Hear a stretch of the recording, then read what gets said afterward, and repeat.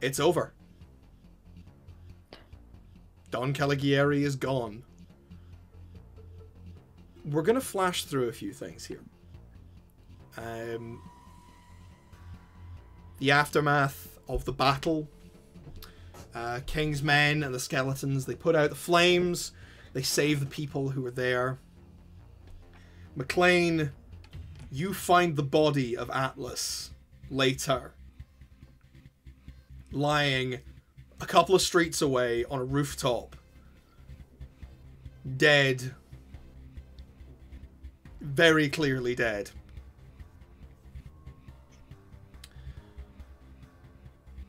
Effie,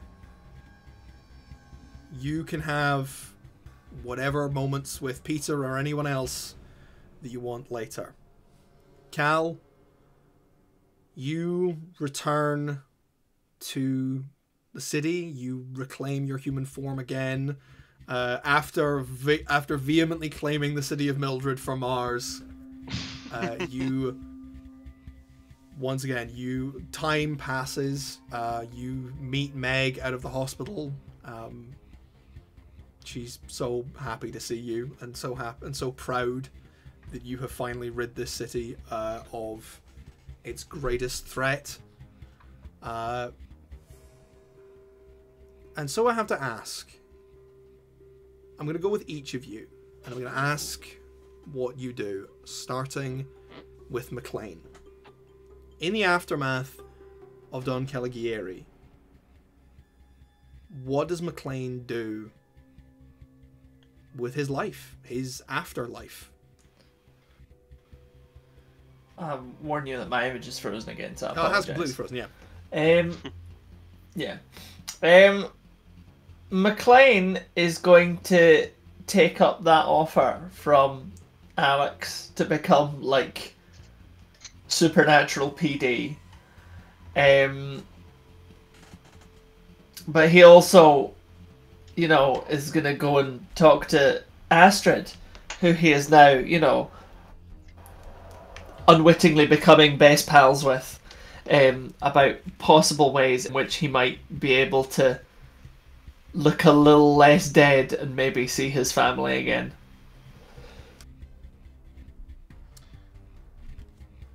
you become, you know, a revenant in the service of the police, in the service of the law. You are, you have, with your vengeance gone, you now have a purpose again. You work with Astrid um, to try and find some way to keep you alive. Um, she keeps an eye on your family uh, for you, making sure that they're okay um, when you can't see them. And who knows? Maybe someday Angus McLean will see his family again. Cal, what Yes. do you do? Uh, the first thing Cal does after all the dust is cleared, we've settled everything. Um, he's reunited with Meg. He's had, you know, their moment. Uh, he walks into the offices of Fester, Nestor, and McClucky. He walks to his desk, and I imagine people are like, "Where the fuck have you been?" Yeah, one, one of the guys was like, Cal, d- you been? You've been off for like. Fuck you, Greg! And he flips his desk. I quit. Yes! He flips everyone That is off the best way to come back from sick leave. and walks out. You hear as someone walks out, someone goes, goes, reckon he won the lottery? Um, Cal gets he sells his apartment.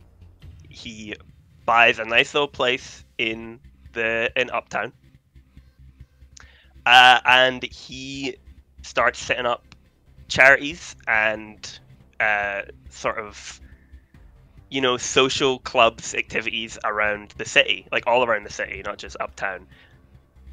Basically, he wants everyone to have fun. Hell yeah. He he he sets up uh, like charities to help like out of like you know home people, uh, and he he sets up just fun activities for children, adults, like all sort of things, skills classes. He he doesn't want people to be trapped in the same boring loop he was his entire life. Hell yes. Fuck yeah, I, that's a. And you know he does some crime fighting in the background. There's a little When Meg fighting, you know. when Meg needs him, he's at beck and call because he is kind of really powerful now. Cartoon bailiff. yes. Effie, what do you do in the aftermath? Effie has the answers that she sought after for so long, and now has kinda lost her her running motive. She no longer has her reputation to fall back on, but she has a legend that will always remember her. And she has that story that will keep going on forever and ever. She looks at what is her life and considers how things stand. The Hearthstone, her work, her relationship with Ethel. She manages to amicably break up with Buck. They had a good thing, but they both knew what it was. And she just. She takes a step back and looks at everything that she's done. Because she knows a guy. She knows a story. But stories have ends. And she just wants to sit back and watch with her husband at her side. I want to roleplay a little scene with you. Okay? On the roof of the Hall of Records, as the sun sets, there are a couple of deck chairs set up. And sat in them are you and Ethel. And as the two of you watch the sunset, she passes you the bottle. That it then? It's all over? Hopefully. I'm not sure I've got any more in me to finish it. Oh, don't worry. I'm sure you got something more, to give. Besides, it's always another story.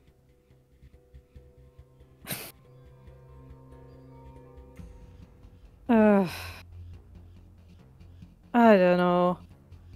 I th- I think I I want to put the books down and just live my life for a bit. I mean, hey, fair enough. I've seen that young man you've managed to tangle. Because frankly, if you don't, Yeah. I will. Oh, that's only because you're your work. He's looking at you, kid. Shanks the bottle with you as the sun goes down. And finally, we arrive at Mal. Now, I'm very sorry, but I don't get to ask you what you do because we're I gonna fucking play. What happens to you after the dust clears and things settle down? You are invited back once again to the Cult of Cards headquarters.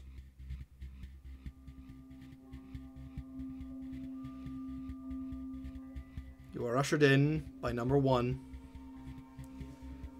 And finally, all 22 of you are sat round this table.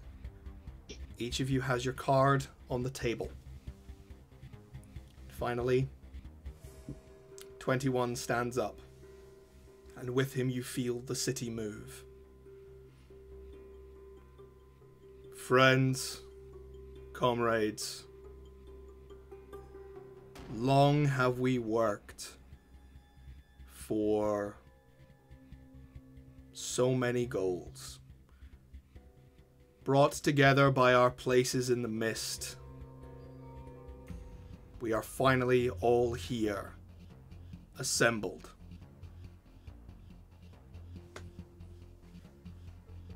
As, we, as our final piece takes her place. Number 13.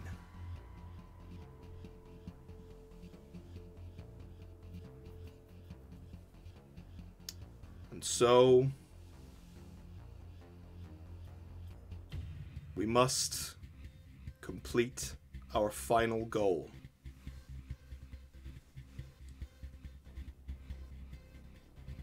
And I am sorry. 21 reaches out a hand, and the cards in, in front of all of you begin to glow. A bolt of lightning lances out of the card and strikes each member in the chest. Cries go up around the table, and Mal, you feel pain striking through you. But as you watch this, you see even the card in front of 21 has struck him. And for the first time you could possibly believe, you see pain in his eyes, but also acceptance. And you die. One last time. When you awaken, the rest of the cult of cards are gone. Nothing but ashes remains.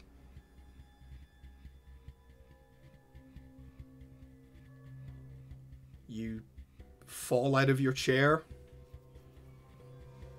and you find something under it. There is a letter under your chair.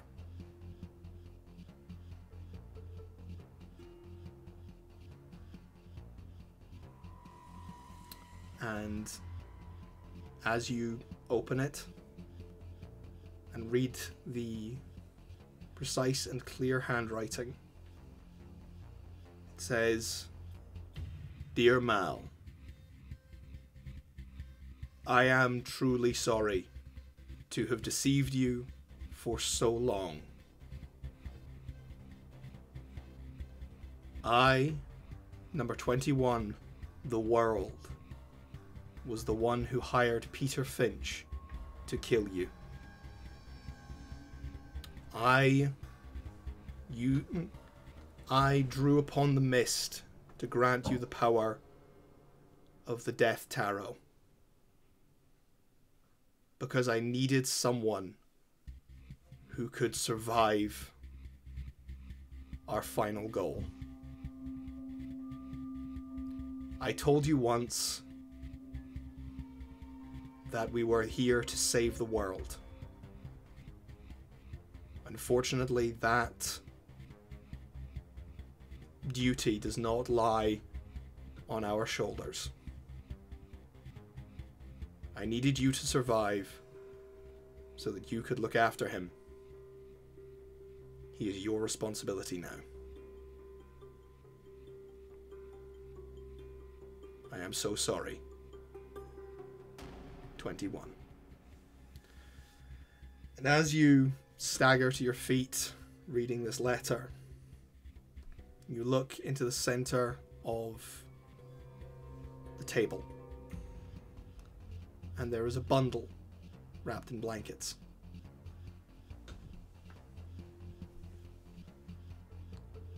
And as you lift the child to you, you feel the power through them.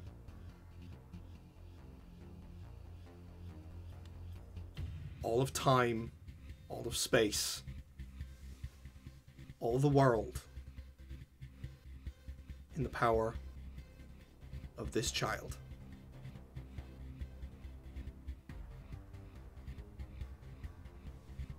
Years later, child well raised by Mal. She's not the perfect parent, but she looks after him. And she tells him stories. stories of what she went through and what happened. And Mal, you are immortal. You never die. At least not for long. But this child shows power. And eventually he learns how to step back through the years.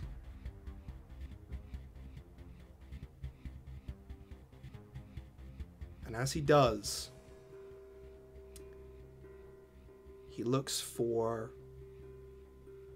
the one thing that you would have needed to bring all of this about, to make this work. He finds Clark Smith. And he employs the ghost in the machine help frame Clark for the murder of John Henderson alongside Mal Ashford, the yet to be unknown Eleanor Finch, and Cal Hardaway.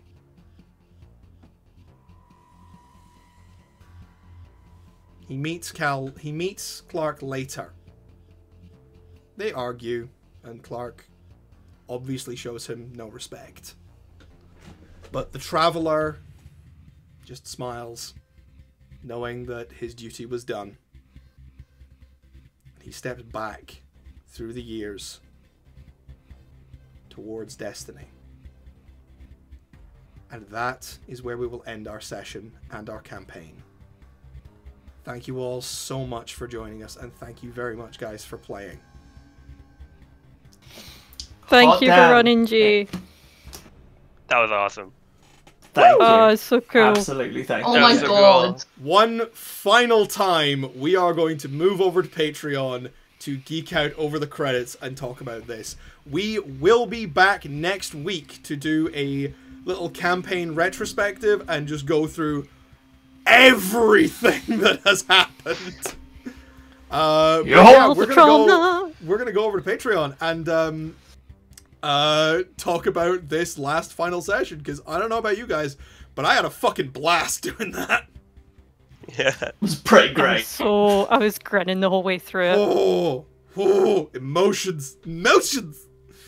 Um, thank you very much, all of you, for watching. Uh, if, especially if you have been here from the beginning. Uh, if this is the first one of the streams you're watching, sorry, we just spoiled the entire story for you. Go back on YouTube and watch all of it. You know how it ends you now. So You know how it ends now. There's about 60 hours of content back there. Go have Yep. fun. it'll be less Get tense for you than it was for us. episode. Uh, God, we done 60 hours? three hour 23 episodes. streams, and this is episode 23. So guess what? We've done 69 hours. Yes! Nice. Nice. Nice! nice. Thank you all so much for joining us. Good night and goodbye. Bye. Thanks, guys. Bye. Bye-bye.